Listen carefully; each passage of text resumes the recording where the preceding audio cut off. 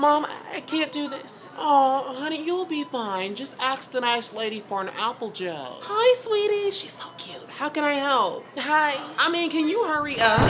Honey, tell her what you want and stop acting like somebody's child. I am a child. You are an embarrassment. Can I get a um? I'm sorry, honey. She suffers from I can't do anything right. Can I get a um? Oh, I thought she had a case of I'm a failure.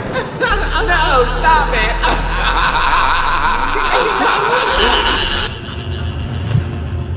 Oh, honey, you'll be fine. Just ask the nice lady for an apple juice. I gotta return this shirt. I got it from Walmart. Girl, hurry up and order. Can I get an apple juice? Of course, cutie. Let me go get that for you. Great job, honey. See, I knew you can do it. I'm getting the apple juice.